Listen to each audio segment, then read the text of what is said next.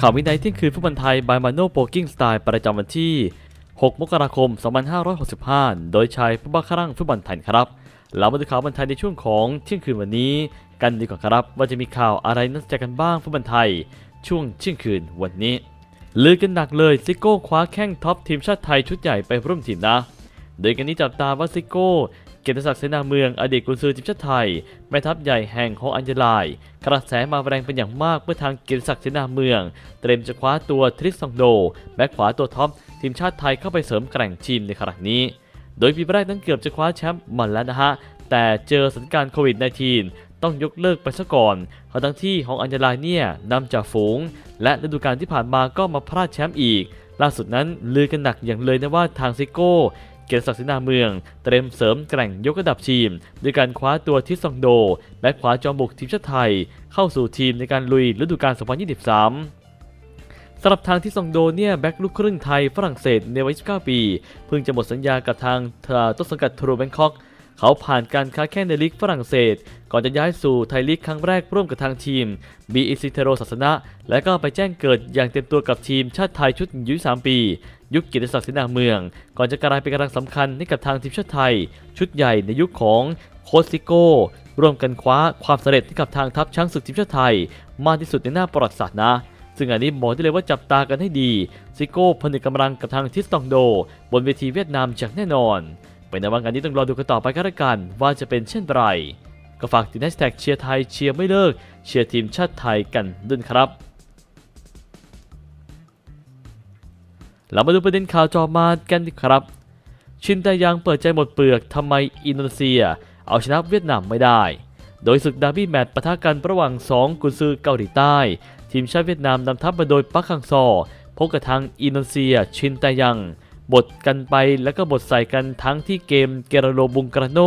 ก่อนจะจบด้วยการเสมอกันไป0ต่อ0ซึ่งอันนี้เกมดังกล่าวเวียดนามมีเปอร์เซ็นต์การครองบอลมากกว่าก็จริง แต่ทางอินโดนีเซียนะฮะ หาโอกาสเข้าจบสกอร์ได้มากกว่า ซึ่งชินแทยงกุนซือชาวเกาหลีใต้ก็เปิดใจ หลังอินโดไม่สามารถที่จะเอาชนะเวียดนามได้ ขอโทษแฟนบอลชาวอินโดนีเซียที่ไม่สามารถเปลี่ยนเกมที่ดี เป็นชัยชนะเหนือเวียดนามในเลกแรกในครั้งนี้ได้ลูกทีมของผมนั้นหนักเล่นหนักเลยนะ พยายามจนวินาทีสุดท้าย ผมถือว่าเป็นแมตช์ที่ดี แม้ว่าอินโดนีเซียจะไม่ชนะ แต่ฐานะโค้ชผมเองก็อยากจะขอโทษแฟนๆต่อทีม ที่ทีมไม่สามารถจะแปลงความดีนี้ได้ทำผลงานเพื่อชัยชนะ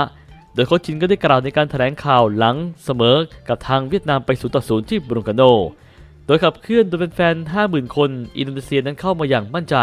แม้จะครองบอลได้น้อยกว่า แต่พวกเขาก็สร้างกระแสได้มากขึ้นในการเข้าทำประตูของเวียดนาม โดยยิงได้ถึง 7 ครั้งในครึ่งแรก แต่อย่างที่ทุกคน หรือว่าคุณชินเนี่ยเคยยอมรับนะว่า การจบสกอร์เป็นข้อจำกัดที่ใหญ่ที่สุดที่ทำให้อินโด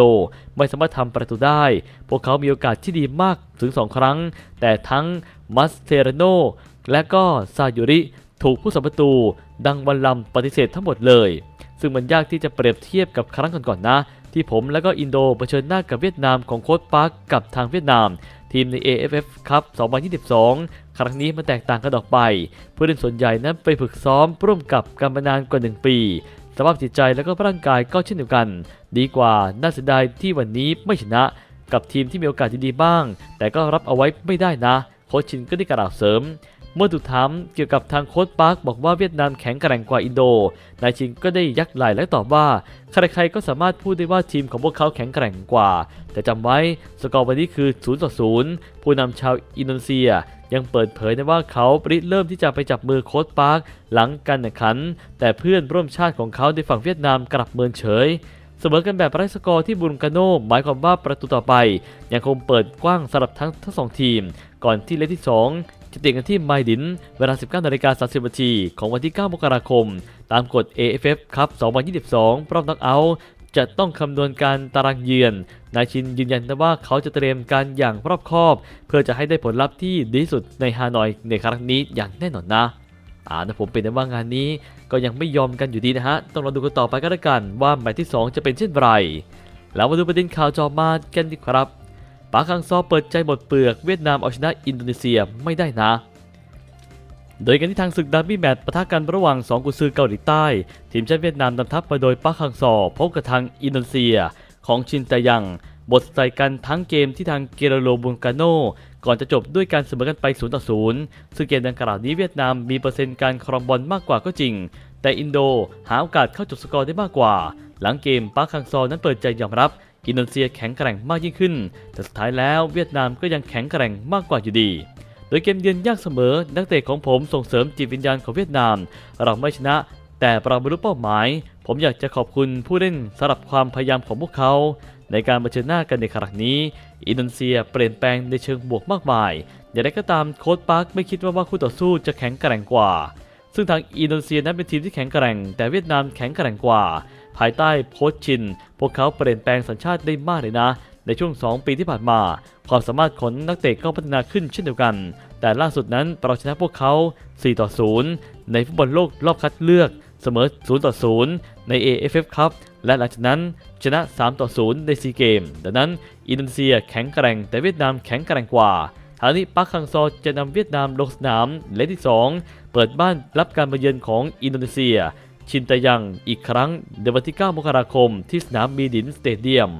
ไปนะว่างานนี้นะผมก็ขิงกันไปขิงกันมานะฮะ จะเก่งไม่เก่งหรืออะไรยังไงนะผมต้องรอดูกันต่อไป ว่าจะเป็นเช่นไรแล้วมาดูประเด็นข่าวจอมากันดีครับ มาดามแป้งเราแข่งทีมชาติไทย ให้โฟกัสในเกมที่สนามเท่านั้นนะ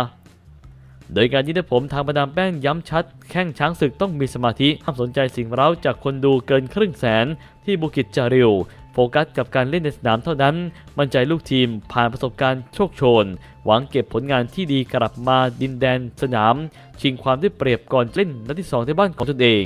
ซึ่งทางดนพันล่ำซ้ำผู้จัดการทีมชาติไทย ได้ออกมาให้สัมภาษณ์ผู้สื่อข่าวก่อนที่ลูกทีม จะลงเตะในศึกฟุตบอล AFF ครับมิตซูบิชิ 2022 รอบรองชนะเลิศนัดแรก บุกไปเยือนมาเลเซีย วันเสาร์ที่ 7 มกราคม โดยรอบรองชนะเลิศนี้ไปจนถึงรอบชิงชนะเลิศนั้น กลับมาจัดในรูปแบบเจ้าเจือนอีกครั้ง และจะมีกฎอเวโกเข้ามาเพิ่มเติมด้วย โดยผู้จัดทัพช้างศึกได้กล่าวว่า ยิ่งการแข่งขันใกล้เข้ามาแล้ว แป้งยอมรับว่าก็ยิ่งรู้สึกตื่นเต้น เพราะการมาเยือนที่บูกิจจาริว เป็นงานที่ยากมากเลยนะซึ่งแต่ไหนแต่ไรอยู่แล้ว วันนี้เราไม่ได้มีโอกาสซ้อมที่สนามจริงด้วย ซึ่งค่อนข้างเสียเปรียบ แถมการที่ต้องวัดผลสองนัดเพื่อจะเข้ารอบ และมีกฎอเวโกก็เป็นอะไรที่ยากกว่าเดิม และต้องละเอียด ดังนั้นในเกมแรกแป้งเนี่ยหวังว่าปรานั้นจะชิงความได้เปรียบให้ได้มากที่สุด ก่อนจะกลับไปเล่นในบ้านเป็นนัดที่ 2 ในครั้งนี้แม้ว่าแฟนบอลของมาเลเซียจะเข้ามาได้ไม่เต็มความจุของสนาม แต่ด้วยจำนวนกว่า 59,000 คนก็ยังถือว่าเยอะอยู่ดี และน่าจะเป็นบรรยากาศที่กดดันเราตลอด 90 นาที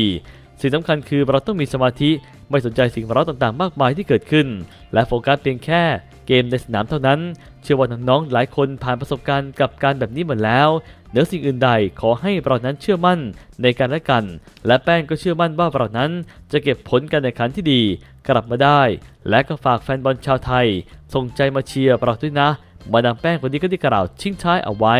สำหรับทางทีมชาติไทยจะพบกับทางมาเลเซีย ได้รับรองชนะเลิศในช่วงวันเสาร์นี้ ที่สนามกีฬาแห่งชาติบูกิตจาลิลเวลา 19นาฬิกา30นาทีตามเวลาของประเทศไทย ถ่ายทอดสดช่อง m c o t HD 30 และก็ T Sports 7รวมไปถึงช่องถ่ายทอดออนไลน์แฟนเพจ Facebook กองสลากพลัสในครั้งนี้ เป็นในว่างานนี้ต้องรอลุ้นกันต่อไปก็แล้วกัน ว่าจะเป็นเช่นไร เรามาดูข่าวต่อมากันดีกว่าครับ